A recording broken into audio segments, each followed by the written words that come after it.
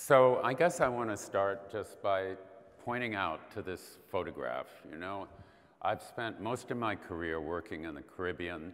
The Caribbean coral reefs have been written off by virtually every major NGO uh, in America as a hopeless sort of cesspool of dead coral reefs. And this photograph is a typical photograph of the coast of Curacao only three years ago, and you notice what a horrible reef it is, and the lack of fish, and the lack of healthy coral, and all the rest. And, and, and that, um, that image is really what motivated me to do this study that I'm going to talk about. Um, Caribbean coral reefs are severely degraded um, overall, and it's widely believed that um, destruction is inevitable because of ocean warming and acidification and all the rest of it. And the consequence of that, especially in the United States, is that global change dominates the entire conversation. The vast majority of all the funds go to study climate change. Uh, the, climate change drives all the policy discussions, and, and pretty much the rest of everything um, gets um, not ignored, but pushed off to the side. And so um, when I was engaged by the Global Coral Reef Monitoring Network to, to try to up the quality of the science in that program, I said, well, I'm not going to do it globally because that's absurd, but I will work in the Caribbean where I, I already know a lot about it. And let's just look at virtually all the data that are available and see what the data actually tell us about the status and trends uh, of these reefs. So in the beginning, it was sort of a boring thing, you know, status and trends. But it turned out to be, uh, I think, very exciting scientifically. So we did a ton of work. We um, uh, had uh, more than 35,000 quantitative surveys of coral reefs from 1970 to 2012. There were 90 locations around the Caribbean. That's all the black dots. And there were 21 places, which are the orange, blue, and, and green symbols, where we actually had good data that went back at least to 1983, which is a pivotal date in the history of Caribbean reefs. This is about 85% of all the data that has ever been collected quantitatively by a scientist in the Caribbean over 50 years. So it's, it's a lot of data. And here, basically, are the results. I mean, these are four years of my life, um, these, um, these graphs. And right away, you see that the patterns are actually quite different from what people thought. Uh, in the upper left-hand corner is coral cover over time. Remember now, every one of these blue dots is a place, a location in some year at some time. And there's thousands of dots. You can't see them all because they're all on top of each other. But what's really strikingly clear is that coral cover started to decline long before 1983, which was the date at which a, a pivotal grazer, Diadema antillarum, uh, had mass mortality. And that it was all pretty much over by 1990. And it's just been waiting for Godot ever since. I mean, there, there, there is no trend in coral cover from 1990 to the present, which is really striking when you think about all the things that have been uh, going on. In the upper right-hand corner is the abundance, the cover of macroalgae. That's a very different kind of story. There was basically no seaweed on Caribbean reefs until the sea urchin died, and then seaweed exploded. This is a, a story Terry documented in his, his science paper in 1994. It, it sort of messed around a little bit, and it settled down at a depressingly large number of about 20%. And and it is creeping up, which is perhaps the most concerning thing. Uh, the bottom left-hand corner shows that the sea urchin really did just kick the bucket. Uh, and the bottom right-hand corner is really important because what that is, is all the recorded bleaching events in the Caribbean. And you can see that there really aren't any significant numbers of bleaching events until after coral cover had stabilized regionally at very low, low level.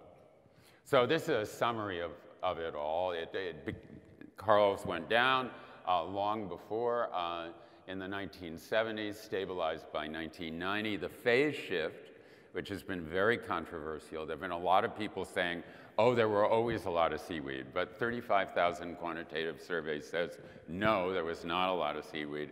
And geriatrics like me, who actually swam around on the reefs in the 1960s and 1970s, weren't delusional in our 70s. It was really, really true. Um, corals were already declining, which is really interesting. And these major changes preceded any known major impacts of climate change. Okay, but you know, this is the way science is normally done in these big meta-analyses, and you, you see an average and, and, and you say, oh my God, it's really bad. But in fact, um, you know, what this graph, what these graphs are showing you for the corals and the macroalgae is that even in 2010 or 2011, there are places that have more than 60% live coral cover. And there are places that have virtually no macroalgae. So that variance in the data is the key discovery of those graphs. What we want to know is what's special about the places that have tons of coral and virtually no seaweed versus the others, because maybe those places can tell us what we could uh, do um, to um, do something to, to improve it. And you can see, I, I don't know if this thing is bright enough, but there are three panels there, orange graphs, uh, blue graphs, and green graphs. The orange graphs show all the places where there used to be a lot of coral cover. After the sea urchin died, they dropped to very low numbers, and nothing has happened since. The blue places are places that have had a more gradual but inexorable decline. And then the green places are the places that didn't read the script.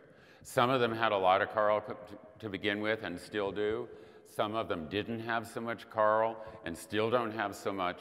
But there is nothing like the degree of change over this more than 40 year period in the green places uh, compared to the blue and orange. And that's what we want to understand. We want to know why are these green places doing so well compared to the places that are doing so poorly. And um, in order to look at that, uh, you know, there, there are a million theories in our profession about why uh, coral reefs are doing badly. My favorite one, which is propagated by a former oil geologist in Florida, is that African dust is the ultimate cause of the decline of corals, which is, of course, really convenient because it means people otherwise had nothing to do with it. Um, there are a lot of ideas, but there's not a lot of data. And so the only things, that, uh, variables or potential drivers that we can say anything reasonably definitive about are global warming, human population density, uh, coastal pollution, and overfishing of grazing fishes. I'm going to quickly go through these in a univariate way, but I want to get fast to the multivariate analysis because this talk gets a lot more interesting when we start to look at all of these variables uh, in concert. Uh, this is slow. Ah, there we go. So um, we got um, NOAA Coral Reef Watch gave us all their data because they expected, I think, that we were going to demonstrate that climate change was the ultimate cause of Caribbean coral reef decline and for very fine-scaled quadrats for every one of our 90 locations. We receive data on the numbers of degree heating weeks every year uh, for every one of those 90 places. And then what we did was we looked at the proportional change in coral cover at all of those places for which there was data. So what was the cover of corals in the two years before a big heating event? What was it afterwards? Subtract the afterwards from the before, divide it by the before, and that gives you a proportional change. If the number is positive, corals became more abundant after they had a big heating event.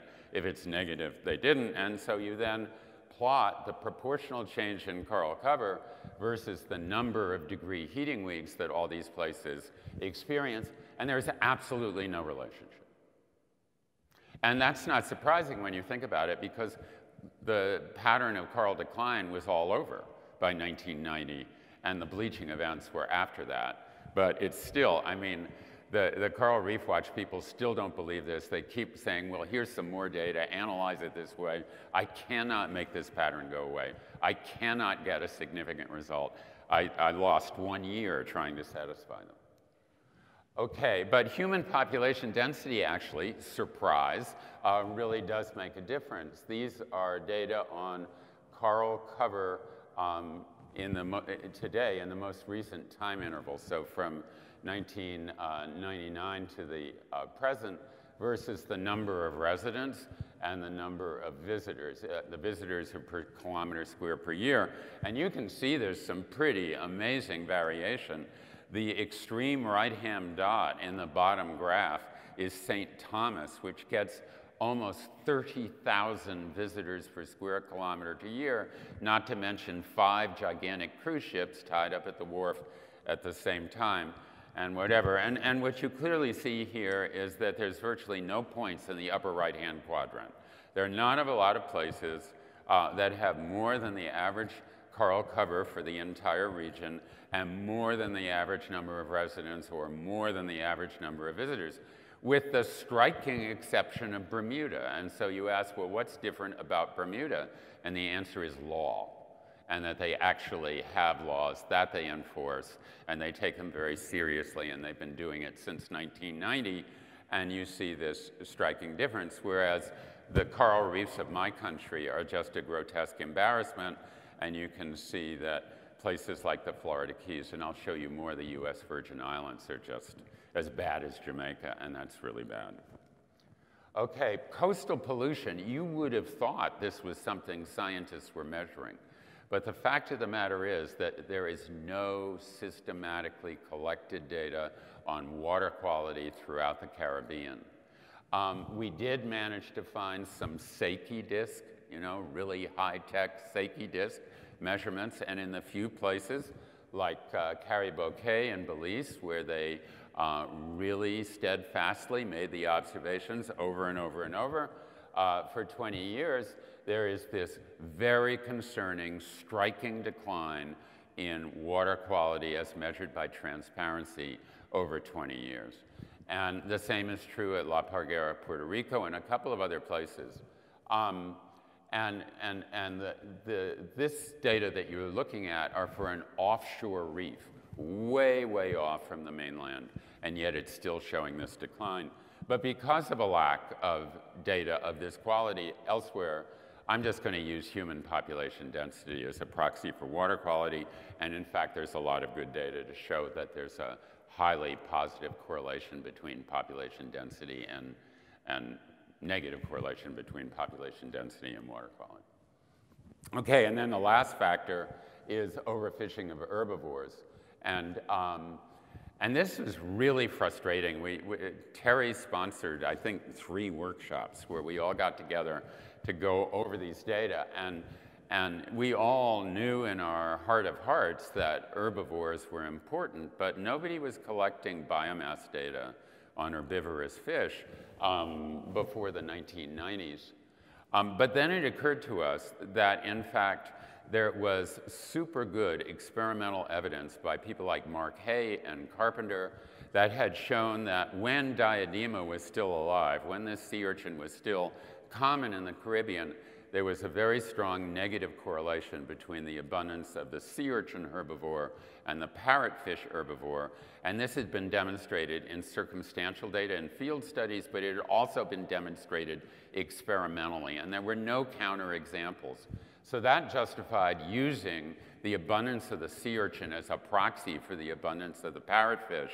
And then we could go back and we could get a, a um, classification of the degree of fishing of reefs based on that. And, and we did that for 17 locations that had long-term data out of those 21.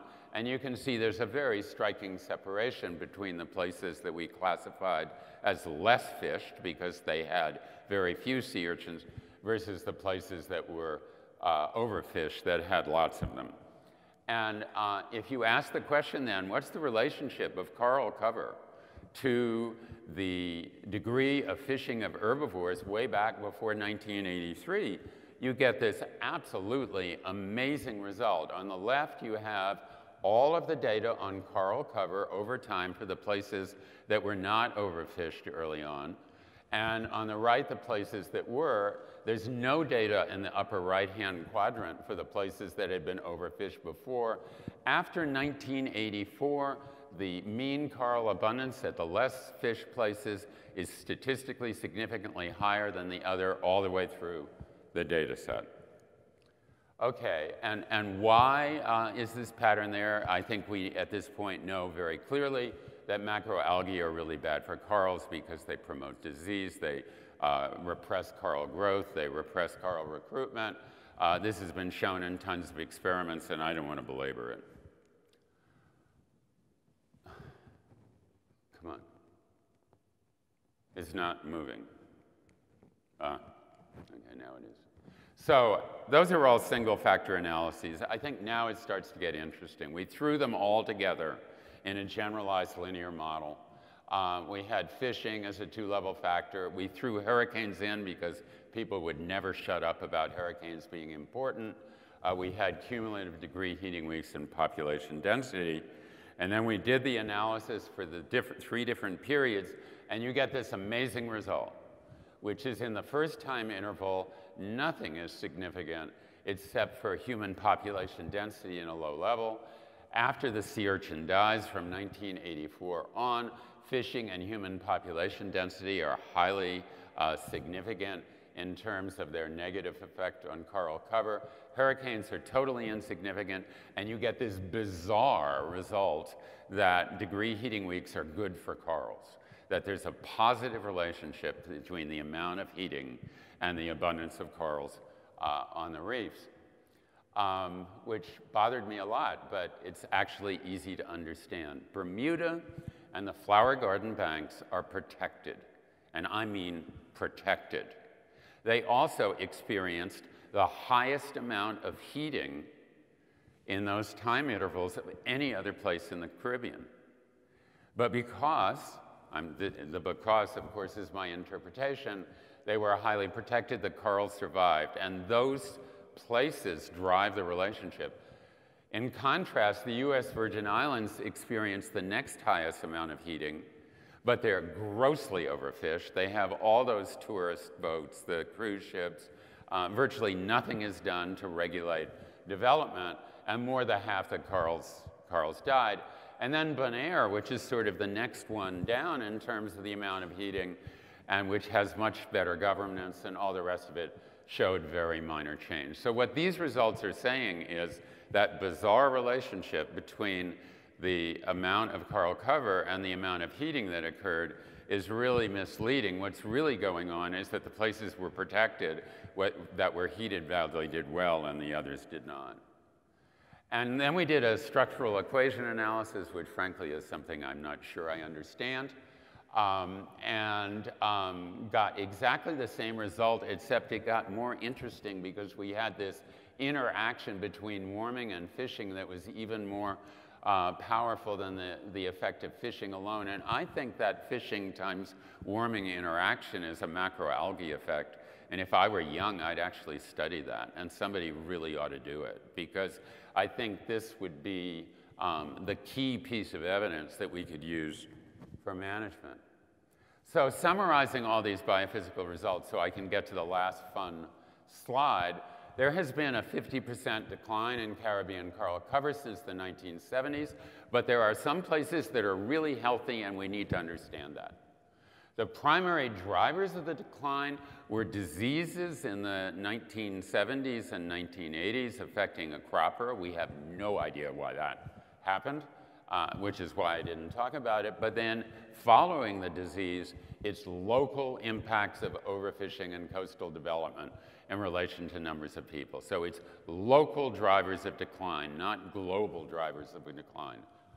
It was pretty much all over by 1990, so um, that's why we don't see the kind of um, warming effect people affected. We have a mechanism in the macroalgae, and, and this thing is local, local, local, which is not what US policy addresses, by the way.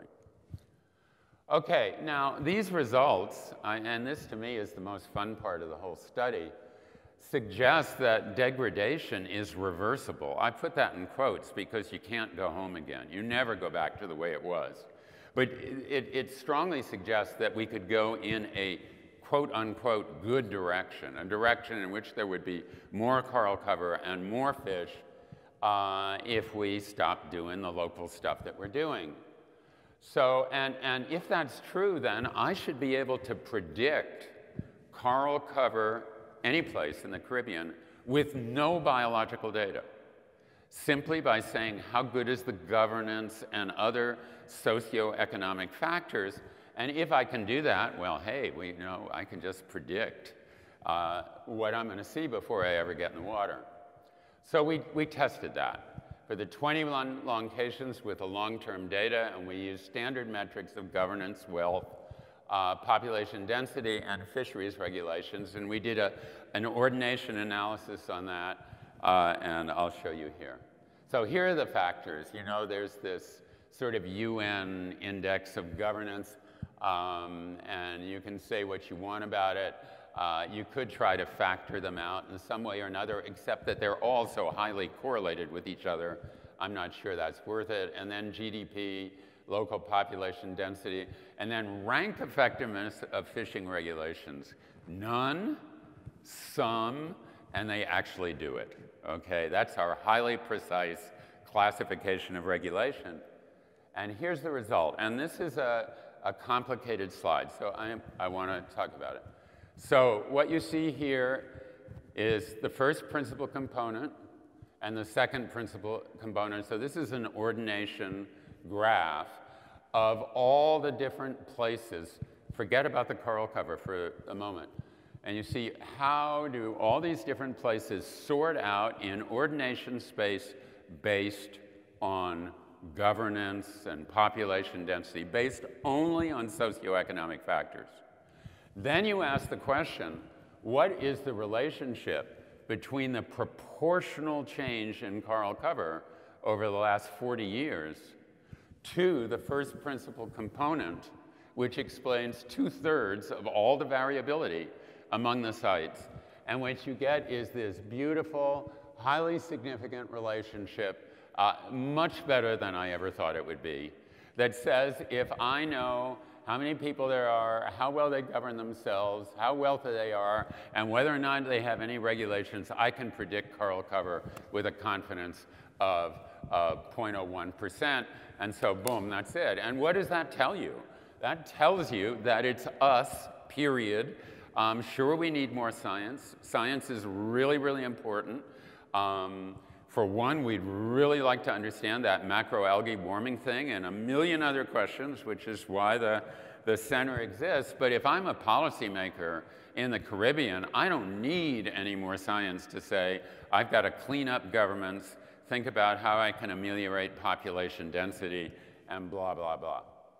So uh, to conclude, we could actually, I, and, and, and I had an op-ed in the New York Times about this. It was titled, We Can Restore Caribbean Coral Reefs, and it was really popular because that's what people want to hear, and that's what Aiden was saying. But in fact, we've got the data that show that the places, the few places, Bermuda, the Flower Garden Banks, Bonaire, to a lesser extent Curacao, that have actually used common sense and regulated their local activities have uh, reefs in much better condition. We are obsessed with climate change.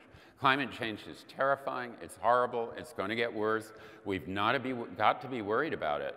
But up until now, in the Caribbean at least, it might not be true here, I have no idea, climate change has been a secondary factor.